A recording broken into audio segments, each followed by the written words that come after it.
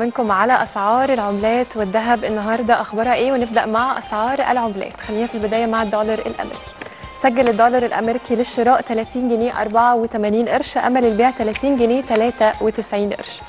اليورو سجل النهارده للشراء 33 جنيه 76 قرش أمل البيع 33 جنيه 88 قرش.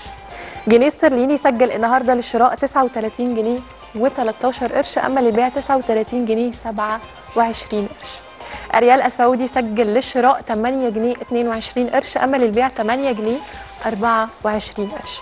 في النهاية عندنا الدينار الكويتي سجل للشراء 100 جنيه 23 قرش أما للبيع 100 جنيه 68 قرش.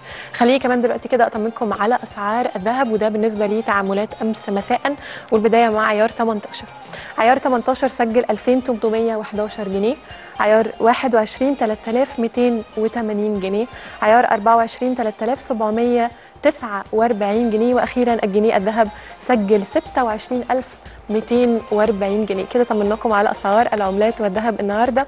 أخبارها من الواضح إن أسعار الذهب ابتدت تعلى تاني. يعني زي ما إحنا شفناه إنه الجنيه الذهب 26240 امبارح كان 25400 يعني ابتدى الذهب يعلى تاني.